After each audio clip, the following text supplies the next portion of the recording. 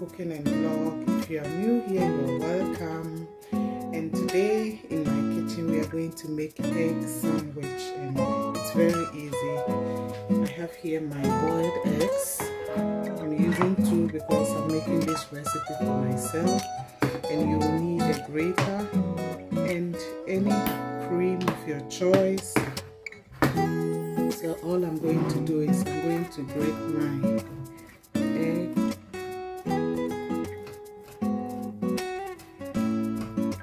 make this for your kids. For any picnic or birthday occasion you can also make it for lunch at work. Mine is for my lunch at work. This is it. Here we have our eggs is I have here my bread and with the bread you can use any bread of your choice. I'm now going to add in my cream. Just add as you want, but this is how I want mine. You just mix it with the eggs.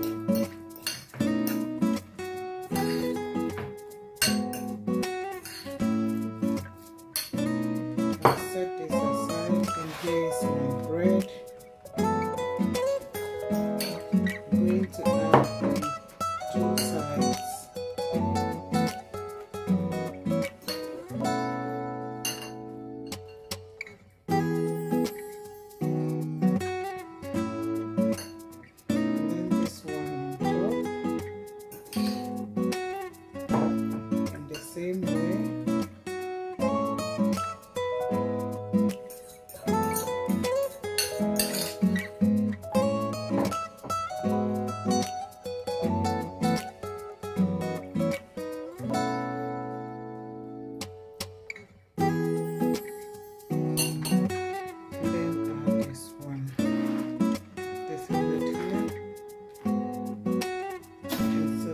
serve it.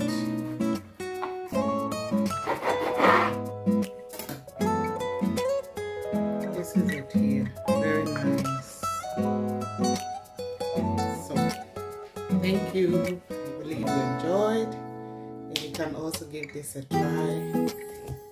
Just to have for lunch or picnic or even for your child's birthday you can make this and they are going to love it. So